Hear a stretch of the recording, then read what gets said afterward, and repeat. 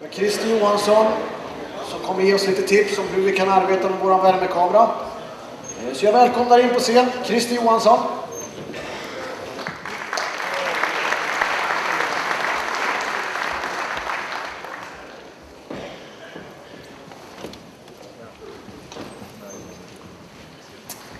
Ja, eh, väldigt roligt att få vara här och prata e IR-teknik här på Skadeplats 2010. Eh, samtidigt så är det en stor utmaning på 30 minuter att presentera det som man normalt kanske behöver ett par dagar att belysa. Ehm, jag tänker därför ta de viktigaste delarna som kan vara viktiga att känna till. Framförallt med fokus på säkerhet och eh, vad man behöver känna till för att kunna arbeta på ett effektivt sätt. I IR och värmekamera är ju en definition som finns och jag kallar det själv för IR-kamera. Jag vet att andra kallar samma verktyg eller för värmekamera, det är precis samma sak. De frågeställningar som jag har är vilka kunskaper behöver räddningstjänsten för att kunna arbeta säkert och effektivt med värmekamera? Jag tycker det är en viktig fråga och eh, man bör känna till den, de riskerna innan man köper IR-kamera och börjar jobba med den. Innehållet som jag kommer ta upp, det är de användningsområden som finns, framförallt inom brand och räddningstjänsten. Eh, det finns ju väldigt många användningsområden, men eh, i det här fallet så väljer jag att fokusera just på brand.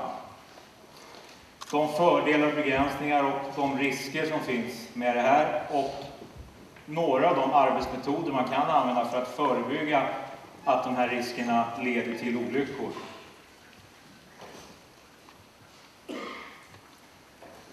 Ett exempel från en amerikansk brandman tillika illustratör, skämtecknare Paul Kahns, eh, har skrivit så här, det är översatt av mig själv naturligtvis, men kan det här finnas en sanning i det här att vi köper utrustning före att andra köper? Jag vet inte, men det ligger väl någonting i det i USA i och med att man har använt den som, som en eh, illustration på hur det kan vara. Man får väl hoppas att det inte är så. Eh, jag fick förmånen att själv delta i en utbildning i USA 2002 eh, tillsammans med tre kollegor från dåvarande Stockholms brandförsvar. Och eh, den skolan vi gick på heter Safe ER, den drivs av brandmän från New York. Och brandmän i New York är väl de som sannolikt har kanske mest erfarenhet av e IR-kamera i samband med brand och räddning. De hade då vid det tillfället, tror jag, 300-400 kameror i drift. Sen är det naturligtvis ett väldigt stort brandförsvar också. Eh,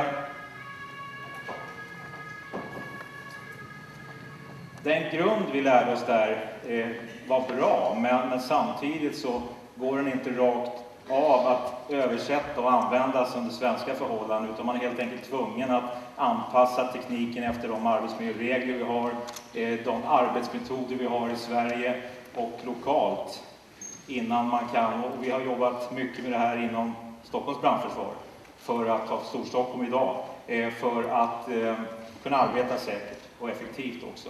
Effektiviteten kommer inte på en gång, det vill säga att det, det tar tid. Det här är ingenting man använder och tror att man kan första dagen, det tar lång tid. Jag tänkte här inte beskriva kedjan från att från IR-energi till bildtolkning. Det vill säga bildtolkning är ju det vi, vi gör med ögat för att förstå det vi ser på, på skärmen, på kamerans skärm. Men allting utstrålar IR-energi, det vill säga allting som är över absoluta nollpunkten, minus 275 grader, behöver alltså inte vara varmt för att vi ska se med kamerorna. Eh, ett exempel kan vara att en brand, den utsöndrar ju ganska mycket IR-energi eh, kontinuerligt så länge det brinner. Eh, en människa eh, utsöndrar också eh, IR-energi, fast i mindre mängd. Den är också lättare att maskera. Det är en anledning att man måste söka med händer när man kommer fram till sängar och sånt i, i, i en lägenhet. Kläder likadant. De är ju till för att isolera och hålla värmen tillbaka, vilket gör att det är alltså svårare, kanske omöjligt, att se en person som ligger under täcke. speciellt ett duvtäcke. Kunskap som kan vara viktig. Nu är det ju så att IR-energin kan man inte se med blotta ögat. Men ett exempel på när vi kan känna att det finns IR-energi, det är när vi är inne och rökdyker. Där man känner strålningsvärmen från vänster genom röken. Det är ett sätt där IR-energin tränger igenom brandgaserna. Hur ska vi då se den här och ta tillvara på IR-energin? Jo, med hjälp av en IR-kamera.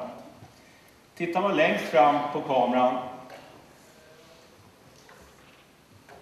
här så finns det en lins. Den tar in den här e-energin, behandlar den i en sensor och elektronik behandlar den till en bild som presenteras på displayen, naturligtvis.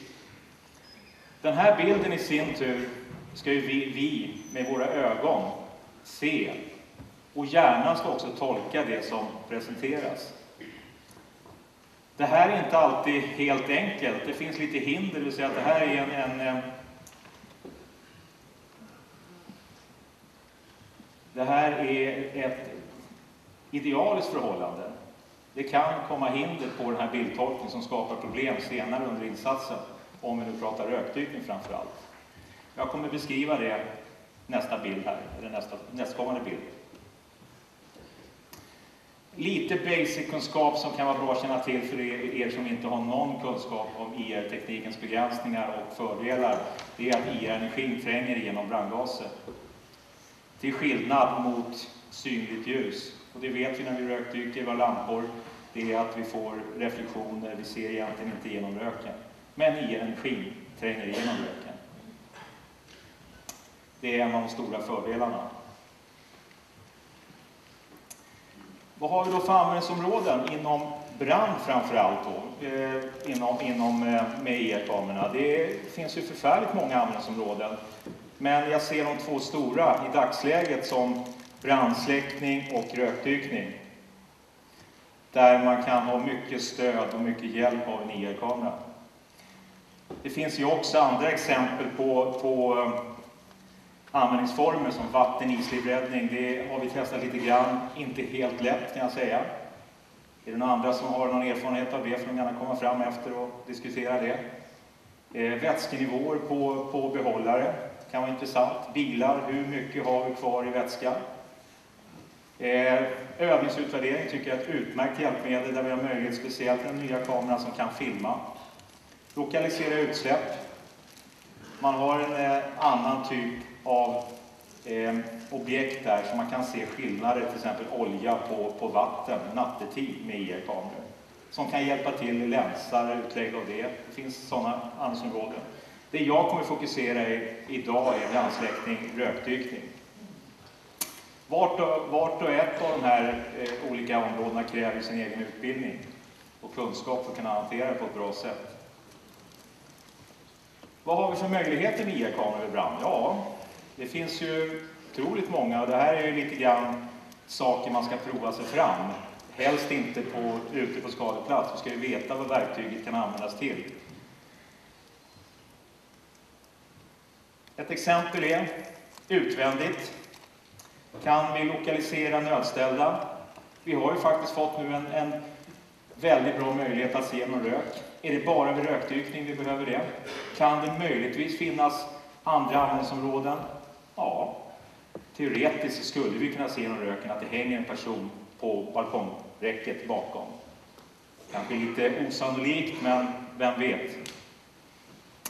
Det vill säga att då måste ju kameran vara tillgänglig utvändigt. Eller att man kanske har två kameror redan vid framkomsten. Eh, det är ett bra stöd för att lokalisera branden. Var är den lokaliserad någonstans? Kan man se det utifrån? Ja, det finns ett exempel. Jag fick höra om några brandmän som hade åkt på ett larm till en angränsande kommun där det pågick en brand i någon form av fastighet. Eh, rökdykning pågick när de kom fram. Men eh, man har inte lokaliserat var branden var någonstans. Det var svårt, det var mycket rök.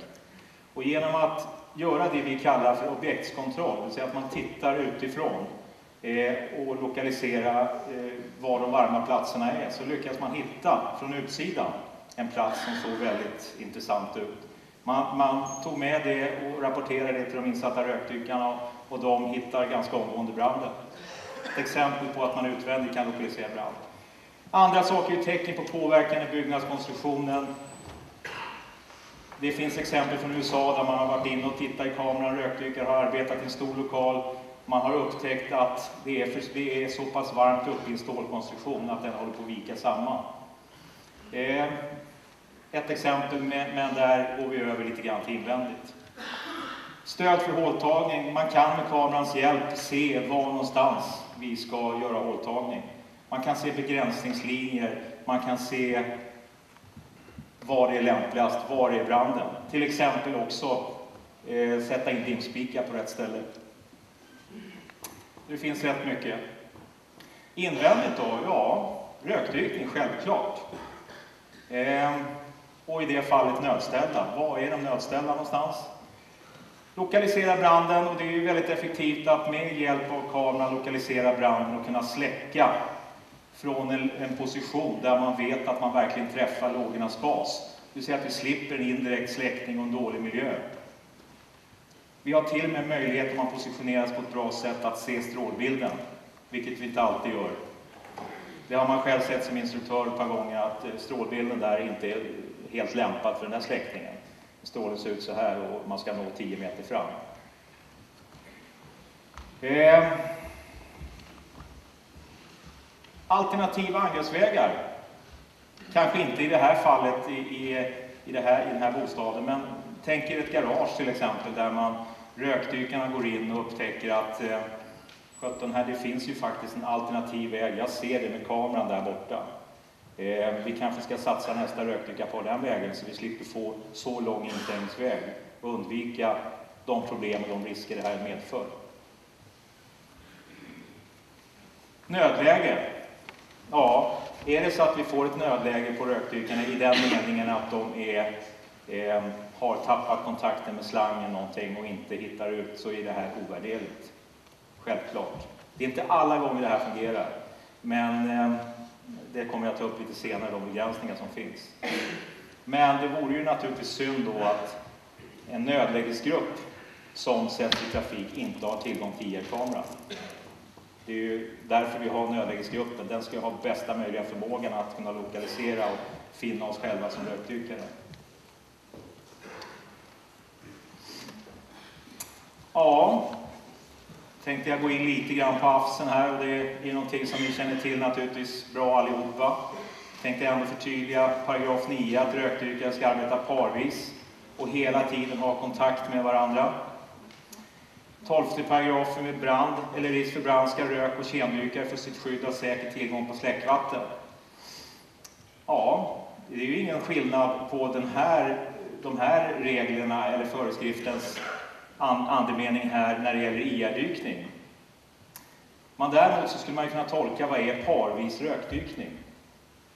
Är det när vi är ute och går och håller handen, som i det här fallet? Är det här parvis rökdykning? Jag har inget svar på den här frågan, men vi kan ju ta diskussionen med Wikén senare här. Vad är parvis rökdykning? Är det ett par som är ute och går eller kan vi på något annat sätt förlänga möjligheten här, för att det här begränsar naturligtvis IR-dykningens möjligheter att rädda liv framför allt. Ni kan se här ett exempel på en tänkbar lösning eh, som vi själv är med och jobbar på. Det är att i det här fallet har vi en strålförare i en fiktiv lägenhet. Vi använder någonting som vi kallar söklina. Det är fem meters hundkoppel. Men det låter bättre med söklina. De brukar alltid reta mig och säga att det är tunnkoppel, men det gillar inte jag. Det finns tyvärr inget annat. Vi, vi har letat, men, men en söklina är ett hundkoppel. Eh, ER-dykaren är den som kan hitta nya positioner och ändå ha kontakt eh, med den som är strålförare och har möjlighet att hitta nya positioner och det här är ju då att det blir faktiskt en 10 meters diameter. Det är en bra täckning. Gör man en riskbedömning på det här så förstår ju allihopa eh, att det finns ju problem. Man kan fastna, man kan trassla in sig. Så det, det gäller att träna om man ska använda det här. Men vi ser ingen annan möjlighet. Att, vi ser risken så stor att man med kamerans förmåga att dra till sig uppmärksamhet, det vi kallar tunnelseende, eh, gör att det är lätt att man går för långt. Det är ingen parvis längre. Det här är någon slags mellanting. Vi har diskuterat det här med Wiken tidigare. Det är en möjlig väg att öka effektiviteten. Ni ser också rum 1 vänster, vägg, toalett. Det är så vi jobbar. Eh, det här kommer ni kunna se på övningsfältet när Storstockholms brandförsvar visar er tekniken där ute sen. Vad har vi då för svårigheter? Är det bara frid och fröjd att ta en kamera i handen och gå in och använda den som sökverktyg? Eller finns det problem? Ja, det kan jag lova att det finns.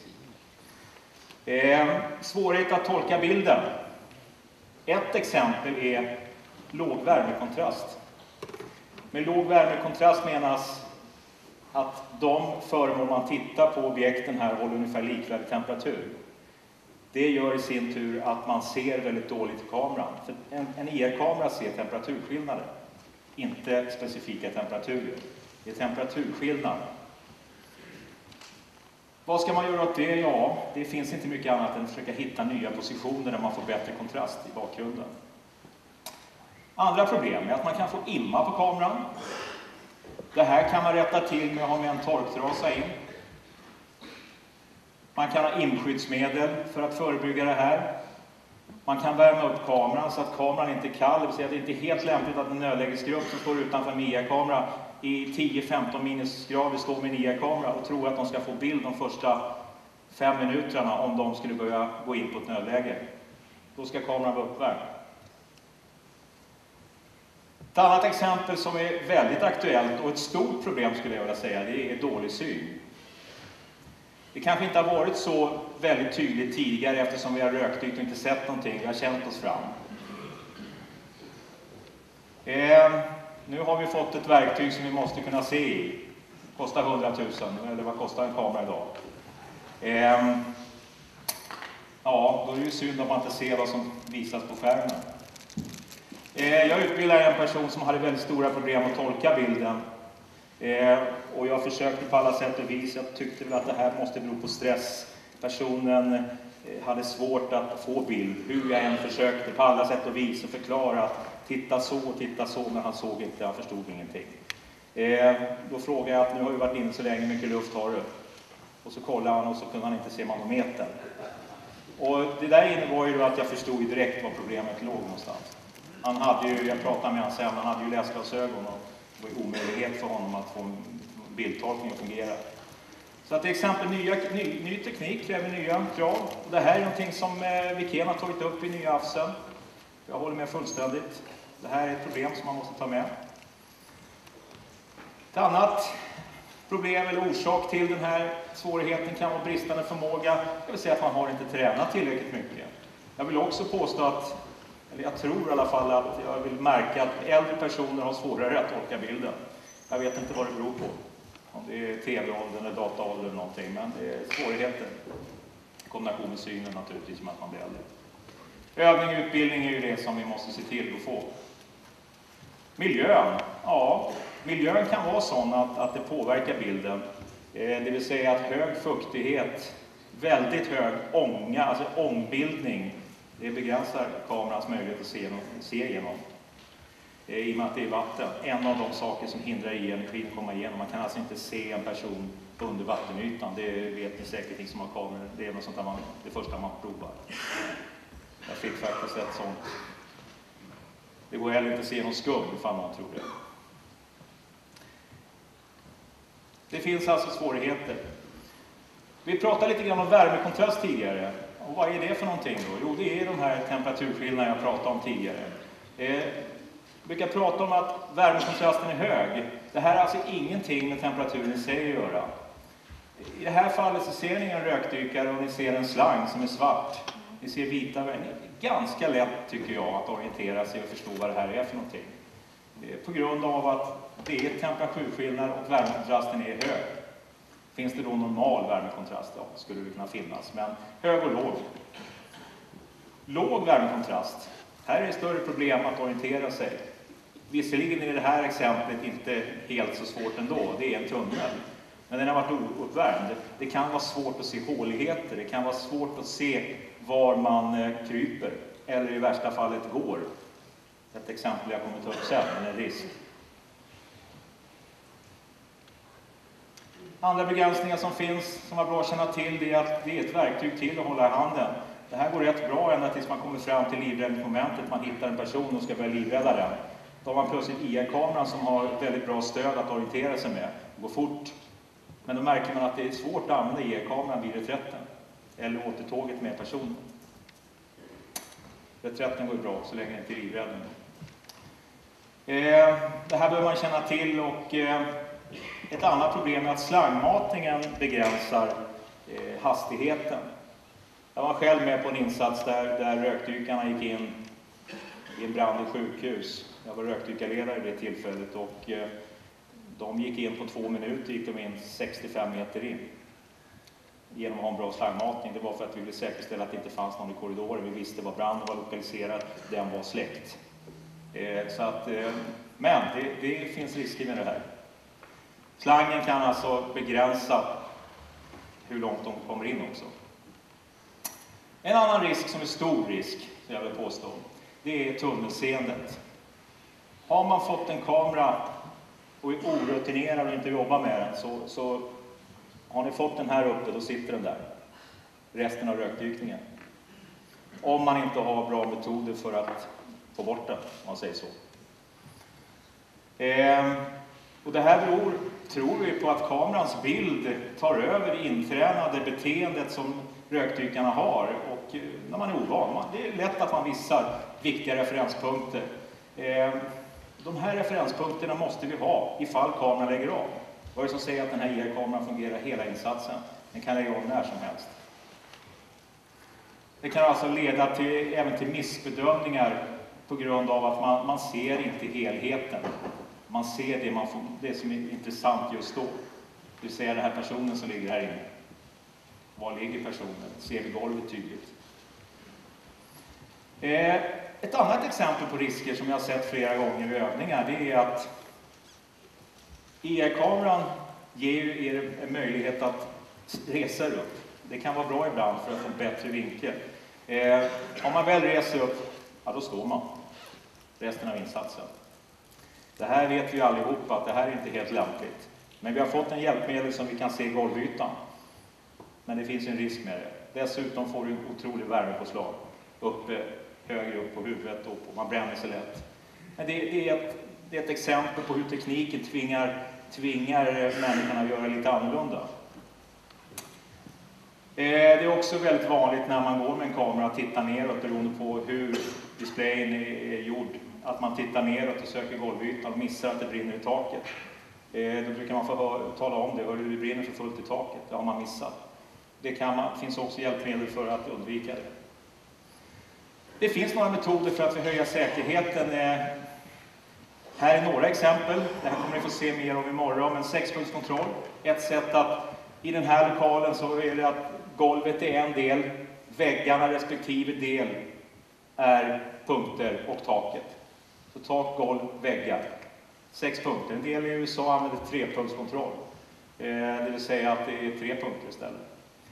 Man kan göra en verklighetskontroll och det, vid det menar vi att jämför med din vanliga syn och sinnen. Släpp kameran ibland, känn istället med händerna så att ni vet var ni är någonstans. Ifall kameran lägger av så kan ni snabbt växla över till traditionell rökdykning.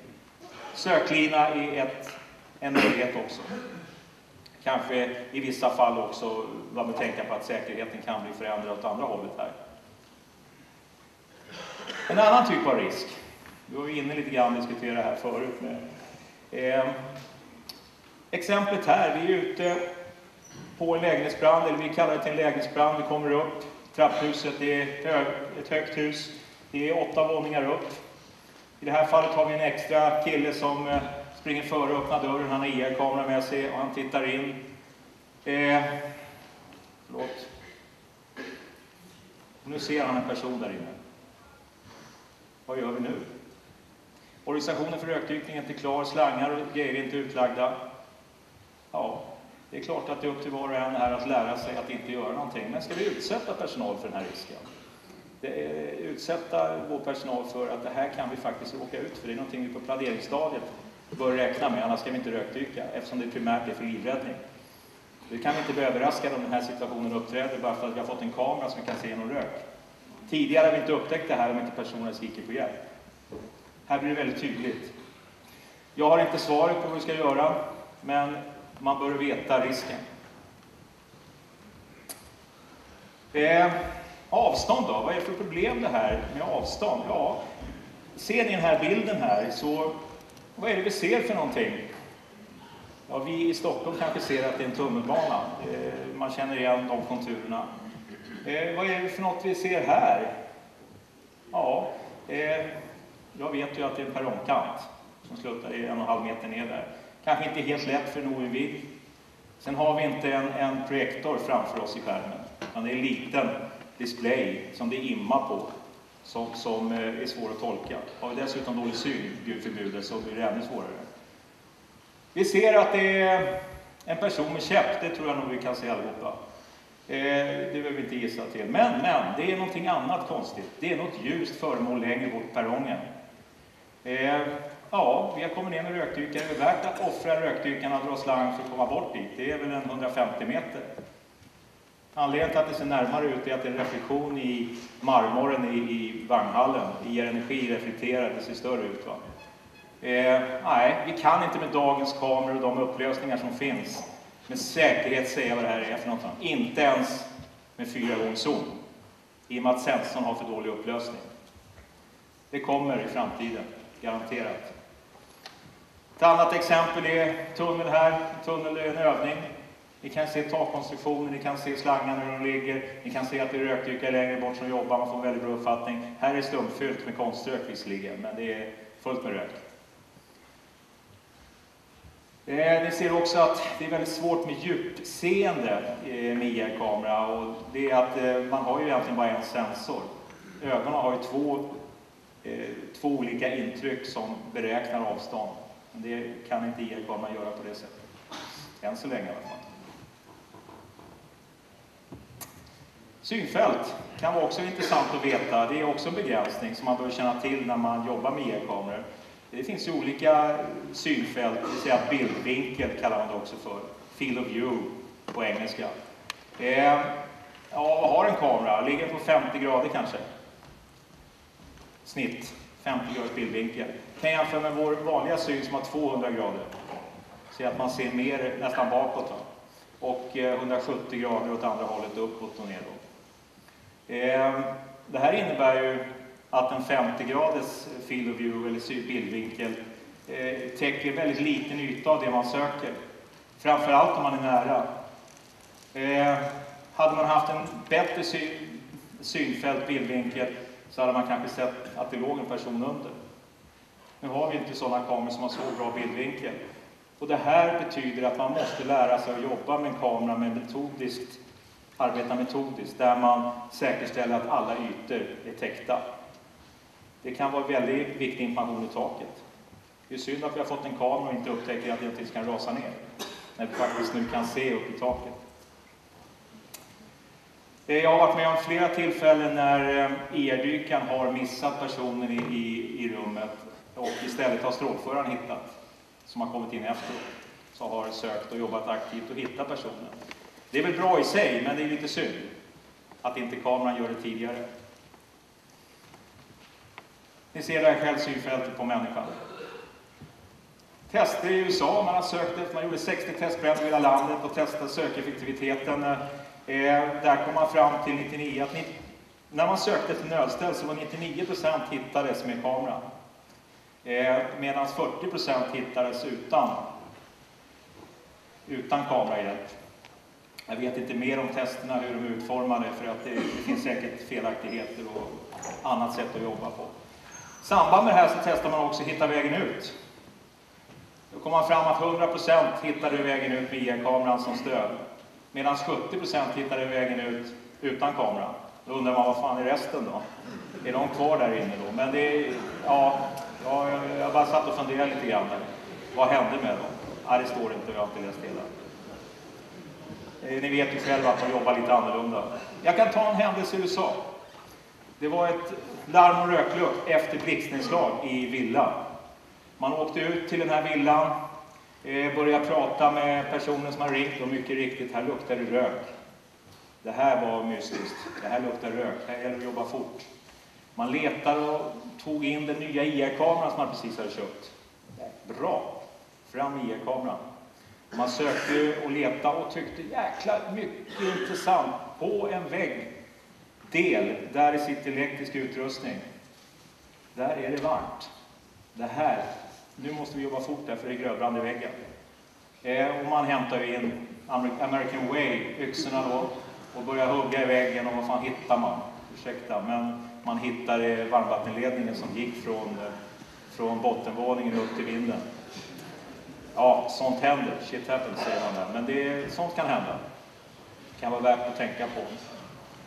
En annan verklig händelse är en kille i Boston. Han jobbade och blev larmad på brand i, i kemtvätt. Eh, och inne i den här kemtvätten började han söka och leta det var glödbränder överallt, så han vägvisade andra rökdykare till de här platserna för att driva. Men han jobbar med sökkäpp också, det tror jag inte någon gör i Sverige med både e-kamera och sökkäpp. Han jobbade framåt och, och metodiskt. Plötsligt så kommer han fram och så försvinner sökkäppen rakt ner i en hålighet. Han backar lite grann, tittar med kameran, ser ingenting. Ett exempel på låg värmekontrast, det vill säga att man ser ingenting när det gäller en kemtvätt i det här fallet. Det är väl en industritvätt antagligen. Han eh, konstaterar att det är 3,5 meter gånger 2,5 meter, 3 meter djupt och det är betong. Det är alltså en trolig dödsolycka på den här rökdykan, kanske, som hade fallit ner. Så han stannar där och, och visar på den här platsen så att inga fler eh, riskerar att trilla ner här. Eh, och han menar ju på det att det var ju min e IR-kamerautbildning, inte min kamera som såg till att det inte inträffade en olycka vid den här rutinbranden. Eh, lite tips då tycker jag på vägen här, ni som är på gång med e IR-kamera. Fundera vad kameran ska användas till. Vad är det för syfte med kameran? Eh, testa och utvärdera vilken kamera som passar ditt syfte bäst. Utvärdering i sig är ett stort kapitel, det skulle vi kunna prata en dag till om. Eh, ta fram utbildningsplan för att kunna arbeta säkert med e-kameran. Glöm inte bort vikten av bra underhåll. Det här är minst lika viktigt som att köpa kamera. Se till att kameran fungerar. Det här är inte en ficklampa för 100 kronor, utan ni har en dyr utrustning som ska användas vid ett nödläge. Se till att ni har bra rutiner. Byt batterier i tid. Använd testutrustningar. Utbilda och öva tills IA-kameran blir ett hjälpmedel. Det krävs mycket övning. Sammanfattningsvis då, jag tycker IA-kameran är ett oerhört bra hjälpmedel och ju större lokalerna är, desto större hjälpmedel är det och effektivare jämfört med traditionell rökdykning. Det är lätt att missa snöställda om man inte arbetar metodiskt. Man behöver en metod i någon form. Jag säger inte att de metoderna jag har beskrivit är rätt, det får ni själva avgöra, det är exempel. IR-kameran är ett hjälpmedel, ersätt inte sunt förnuft och beprövad erfarenhet med den här IR-tekniken. Räkna heller inte med att ni alltid kommer få bra bild. Glöm inte bort den traditionella rökdykningen. Det finns det, de som säger att fy sjutton vilken tid, det här, det här går inte. Släng kameran. För att man inte har övat tillräckligt mycket och vet när man måste växla. Vi ser att det krävs utbildning och övning för att kunna arbeta effektivt och säkert. Det finns ett ordspråk man använder i USA. Take time to make time. Men så här, ta det tid för att vinna tid lite senare. Jag tycker det är ett jättebra ordspråk. Eh, sammanfattningsvis vill jag avsluta med att, ja, att se med kameran är lätt, men det svåra är som sagt att förstå vad du ser. Eh, och därmed är också mina 30 minuter slut. Och jag skulle kunna prata hela dagen om det här naturligtvis, men eh, ja, jag tycker det var jättekul att få prata här. Tack så mycket.